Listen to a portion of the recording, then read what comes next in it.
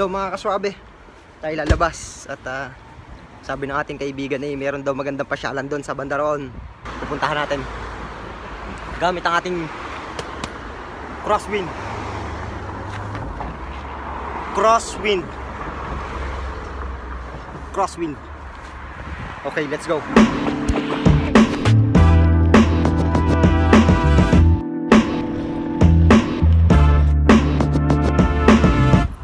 At eto nga mga kaswabe, nakikita ko na.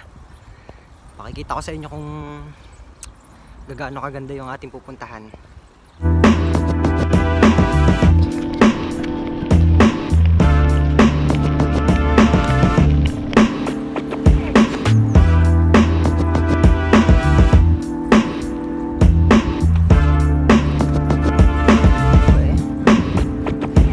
Po.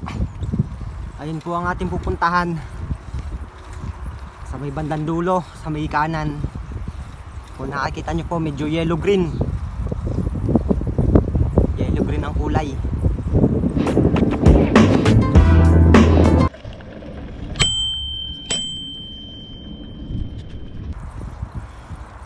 Mga kaswabe, halos buong May umuulan.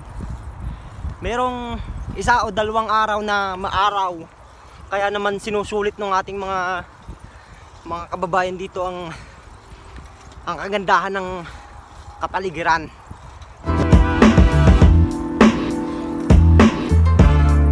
Ayan po. Pupuntahan po natin yung ano, laki ng aso.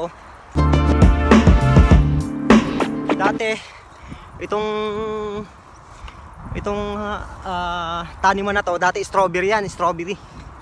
Pero ngayon hindi nila hindi sila nagtanim ng strawberry.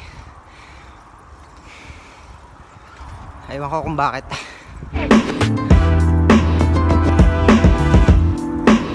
Ah.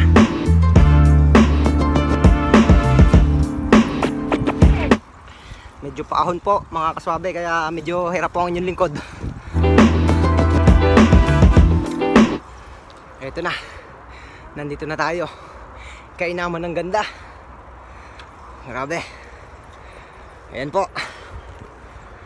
Para tayo naglalakad sa paraiso.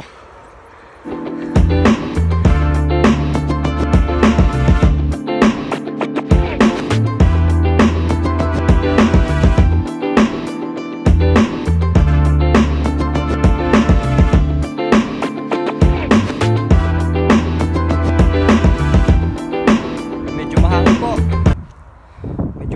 Mga kaswabe pero susubukan po natin kung kaya ba ng ating drone ng palipad din natin.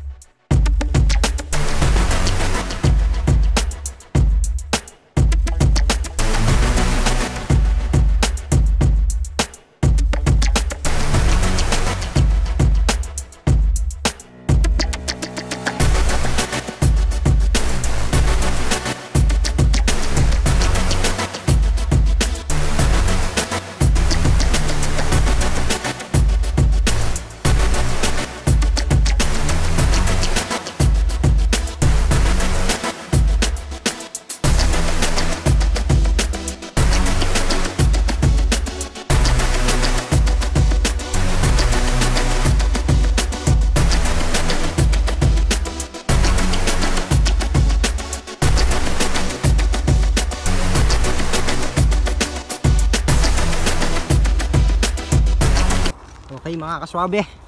Tapos na po tayo. Nakapag pictorial na po tayo ng konti. Nakakuha na tayo ng konting video Sa isang napakagandang lugar na katulad nito. Para ka nasa paraiso. Yan po ay ginagawang mantika dito